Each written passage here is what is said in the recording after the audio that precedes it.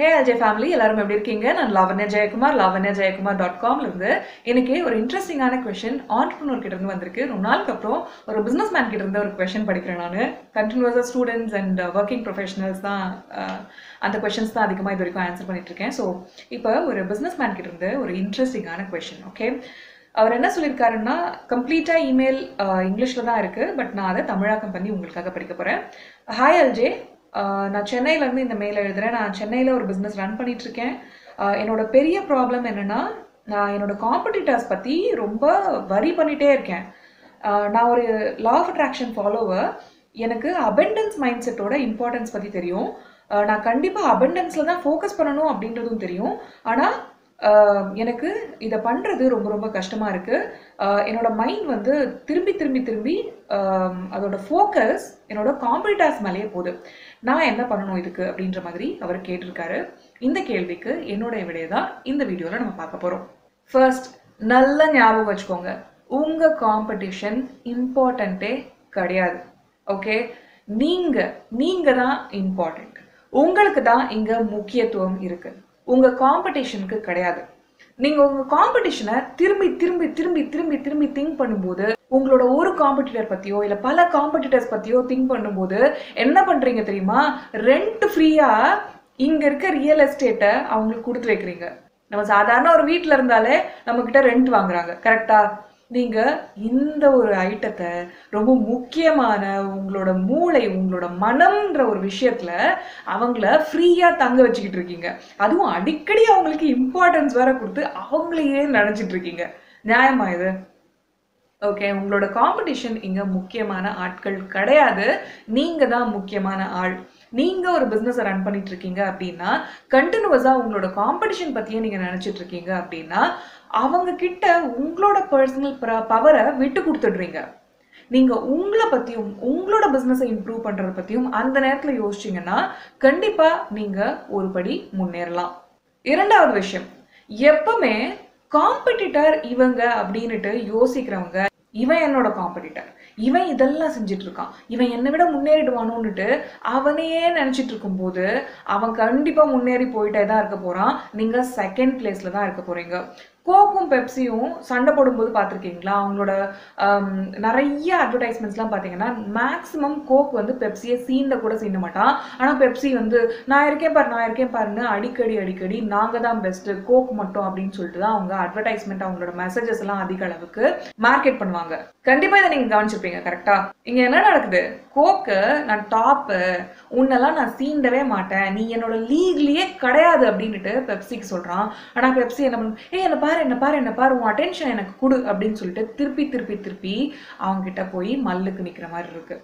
நீங்க அஹெடா போகணும் உங்களோட காம்படிட்டர்ஸை விட அப்படின்னா அவங்கள பத்தியே மறந்துடுங்க என்ன விஷயத்த நீங்க பெஸ்டா பண்ணீங்கன்னா நீங்க முன்னாடி போக முடியும். அதை பாருங்க. உங்களோட தனித்துவம் என்ன? உங்களோட தனித்தன்மை என்ன?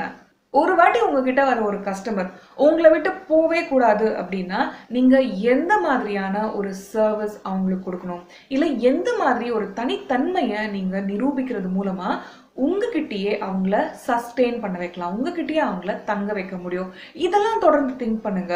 நீங்க உங்களோட மண்டை உங்களோட மூளை இது ரொம்ப ரொம்ப முக்கியமான விஷயம். உங்க மனசுல அவங்கள வந்து ஃப்ரீயா தங்க வைக்கிறது பதிலாக இந்த மாதிரி ஐடியாஸை தங்க வைங்க. இந்த மாதிரி ஐடியாஸ்க்கு உயிர் கொடுங்க. நான் எப்படி என்னோட கஸ்டமர்ஸ்க்கு இன்னும் பெஸ்ட்டாக சர்வ் பண்ணலாம்?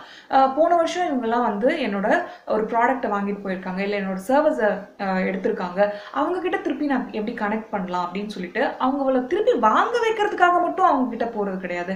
எப்படி அவங்க கிட்ட கனெக்ட் பண்ணலாம் அப்படின்றதுக்கு திரும்ப திரும்ப திரும்ப யோசிச்சுக்கிட்டே இருங்க. ஃபார் எக்ஸாம்பிள் நான் இப்போ பண்ற எல்ஜே ஷோஸ் எல்லாமே அந்த ஒரு நோக்கத்தோட தான் உங்ககிட்ட வந்து சேருது. ஓகே என்னோட career சக்ஸஸ்க்கான academy LJ academy Lavanya Jayakumar dot காமில் ஃபங்க்ஷன் ஆகுது. அது தனி டிபார்ட்மெண்ட் அதில் நான் ஒருத்தவங்கள ஒரு கோர்ஸ் வாங்க வைக்கிறதுக்கு நான் வந்து இந்த ஒரு டொமைனில் ஒர்க் பண்ணவே பண்ணுறது வந்து ஆக்சுவலி டைம் வேஸ்ட் ஒரு பிஸ்னஸ் பர்சனாக பார்க்கணும் அப்படின்னா என்னோட டீமே வந்து அதுதான் என்கிட்ட சண்டை போட்டுட்டு இருந்தாங்க. மேம் டூ தௌசண்ட் டுவெண்ட்டிலேருந்து வாரத்துக்கு ஒரு வீடியோ போடுங்க போதும். மற்றபடி உங்களோட மார்க்கெட்டிங் ஆக்டிவிட்டீஸ் எல்லாம் வந்து பெய்டு அட்வர்டைசிங்கில் ஃபோக்கஸ் பண்ணுங்க அப்படின்ற மாதிரி சொல்லிட்டு இருந்தாங்க. நான் சொன்னது என்னென்னா ஓகே அது போட்டும். அது வேற டிபார்ட்மெண்ட் இது வந்து எனக்குன்னு ஒரு ஆடியன்ஸ் இருக்காங்க. எனக்குன்னு ஒரு எல்ஜே ஃபேமிலியை நான் உருவாக்கியிருக்கேன். நான் இதை வந்து அடுத்த ஐம்பது வருஷத்துக்கு ஒரு கமிட்மெண்ட்டாக எடுத்திருக்கேன். ஏன்னா நீங்கள் மூணு வருஷத்துலேயே குட் பை சொல்லிட்டு போக சொல்கிறீங்க அப்படின்ற மாதிரி தான் நான் உங்ககிட்ட கேள்வி கேட்டேன். இது நிஜமாக நடந்த ஒரு கான்வர்சேஷன் எங்களுக்குள்ள. நான் அடுத்த ஐம்பது வருஷத்துக்கு நான் வந்து கிளவிலாம் ஆகி எனக்கு முடியெல்லாம் நரைச்சி எனக்கு வந்து சுருக்கு சுருக்கமாக ஆகி அப்போ வரைக்கும் இவங்க யூனோ கூட நான் இருக்க போகிறேன் இந்த கனெக்ஷன் அவங்க கண்டிப்பாக ஃபீல் பண்ணுவாங்க. அவங்களோட கேள்விகளுக்கெல்லாம் நான் ஆன்சர் பண்ண போகிறேன் நான் யூனிவர்ஸ் கொடுக்குற மெசேஜை அவங்க கிட்ட பாஸ் பண்ண போகிறேன் அப்படின்ற மாதிரிலாம் நான் அவங்க கிட்ட உரையாடிட்டு இருந்தேன். இதுதான் என்னோட நோக்கம். ஓகே நான் உங்ககிட்ட அதிக அளவுக்கு கனெக்ட் பண்ணுறது ஒரு கோர்ஸ் நான் கிரியேட் பண்ணும்போது அதை பற்றின இன்ஃபர்மேஷன் கொடுக்குறேன். கோர்ஸில் வாங்க ஜாயின் பண்ணுங்கள் ப்ரீ புக்கிங் அது தனி டிபார்ட்மெண்ட் அது வந்து போயிட்டே தான் இருக்க போகுது. ஆனால் அது தவிர நான் இந்த ஆப்பர்ச்சுனிட்டியை உங்ககிட்ட கனெக்ட் பண்ணிக்கிறதுக்கான ஒரு தருணமாக எடுத்துக்கிறேன். இது என்னோட யுனிக்னஸ் இந்த ஒரு யுனிக்னஸை நான் என்னோட எல்ஜி அகாடமிக்கு கட்டமைக்கிறேன் என்னோட பிஸ்னஸ்க்கு கட்டமைக்கிறேன். இந்த மாதிரி ஒரு ஸ்டூடெண்ட் பாயிண்ட் ஆஃப் வியூலேருந்து ஒரு கஸ்டமர் சென்ட்ரிக்காக நீங்கள் என்ன பண்ண போறீங்க? அதை பற்றி திங்க் பண்ணுங்க. உங்கள் காம்படிட்டர்ஸ் கண்டிப்பாக நாலு பேர் வருவாங்க நாலு பேர் போவாங்க. அது முக்கியமே கிடையாது. உங்கள் காம்படிட்டர்ஸ் மேட்டரே கிடையாது. நீங்கள் தான் இங்கே முக்கியம். நீங்க சர்வ் பண்ற ஆடியன்ஸ் தான் முக்கியம். நீங்க சர்வ் பண்ற கஸ்டமர்ஸ் தான் முக்கியம். அவங்க மேல உங்களோட ஆயிரம் மடங்கு ஃபோக்கஸ் வைங்க. நீங்க நூறு மடங்கு காம்படிட்டர்ஸ் பத்தி திங்க் பண்றதால தானே உங்களோட மண்டைக்குள்ள குழம்புது. ஐயோ நான் லா ஆஃப் அட்ராக்ஷன் ஃபாலோ பண்ற எனக்கு வந்து பற்றாக்குறை மைண்ட் செட்ல நான் திங்க் பண்ணிட்டு இருக்கேன் இல்லையா? ஏன்னா நீங்க காம்படிட்டர்ஸை பத்தி பயப்படுறதெல்லாம் பற்றாக்குறை மைண்ட் செட் தான் ஸ்கார்சிட்டி மைண்ட் செட் நீங்க வந்து அபண்டன்ஸ் மைண்ட் செட்ல இருக்கணும்னா அளப்பரியது. இந்த பிரபஞ்சம் வந்து எனக்கு கேட்க கேட்க எல்லாத்தையும் கொடுக்கும் அப்படின்னா நீங்க எது கேட்டாலும் அது கொடுக்கும் தானே? மொத்தமே என்கிட்ட நூறு ரூபாய் தான் இருக்கு. உங்க காம்படிட்டருக்கு தொண்ணூறு ரூபாய் கொடுத்துட்டேன். இந்தா நீ பத்து ரூபாய் வச்சுக்கோ. அப்படின்லாம் உங்ககிட்ட யூனிவர்ஸ் சொல்லாது. நீங்க எவ்வளவு கேக்குறீங்களோ அதால பிரிண்ட் பண்ண முடியும். அந்த மாதிரி ஒரு சக்தி இருக்க. ஒரு அளப்பரிய ஒரு தன்மை இருக்க. ஒரு விஷயத்துக்கிட்ட நீங்க எப்படி நடந்துக்கணும்? உங்களோட தௌசண்ட் பர்சன்ட்டை உங்களோட ட்ரீம்க்கு கொடுங்க. உங்களோட தௌசண்ட் பர்சன்ட்டை உங்களோட விஷனில் வைங்க. உங்களோட தௌசண்ட் பர்சன்ட்டை உங்களோட லீடர்ஷிப் ஸ்கில்ஸை இம்ப்ரூவ் பண்ணிக்கிறதுக்கு வைங்க. உங்களோட தௌசண்ட் பர்சன்ட்டை உங்களோட டீமை நல்லா பார்த்துக்கிறதுக்கு வைங்க. உங்களோட தௌசண்ட் பர்சன்ட்டை உங்களோட கஸ்டமர்ஸ் மேலே வைங்க. இது மாதிரி பண்ணீங்கன்னா நீங்கள் உங்களோட ஃபோக்கஸ் செதுறதுக்கு நீங்கள் இடமே கொடுக்க மாட்டீங்க. காலையிலையும் மத்தியானம் மாலை.